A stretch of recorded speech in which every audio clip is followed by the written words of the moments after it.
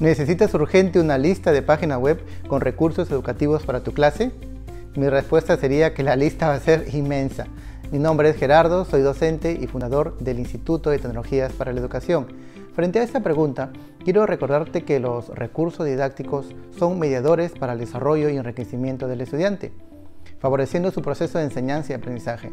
Por tanto, si queremos marcar la diferencia como docentes, te recomiendo que mejor desarrolles tres habilidades. La habilidad número uno es que necesitas saber encontrar, seleccionar, filtrar contenidos que ya han sido realizados por otras personas y que están publicados en la web. A eso se le llama ser un curador de contenidos.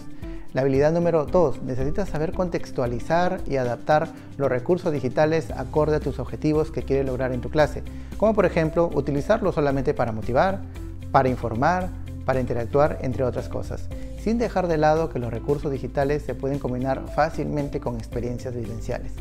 Una vez que has desarrollado estas dos habilidades anteriores, ahora sí podrás desarrollar la habilidad para poder crear tus propios materiales digitales. Pero ten en cuenta que eso te puede mandar mucho tiempo, así que te recomiendo que hagas partícipe en el desarrollo de esa actividad a tus estudiantes. Y para terminar, debajo de este video te voy a compartir algunas páginas donde podrás encontrar un repositorio de recursos digitales y objetos de aprendizaje de mucha utilidad para tu clase. Están organizados por varios niveles. Así que cuéntame cuáles son esas habilidades que vienes aplicando hasta el momento y déjame tu comentario y comparte este video con todas las personas a quienes puede interesar.